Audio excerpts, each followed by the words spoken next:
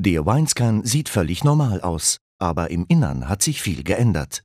Unsere Ingenieure haben ein neues Verfahren für die Analyse von Schwefeldioxid implementiert.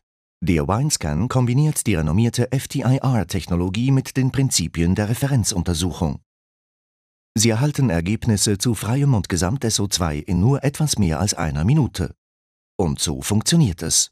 Platzieren Sie die Weinprobe unter der Pipette, betätigen Sie anschließend die Starttaste. Wie bei Referenzuntersuchungen erwärmt der Winescan das Gemisch aus Wein und Säure, um so das SO2 freizusetzen.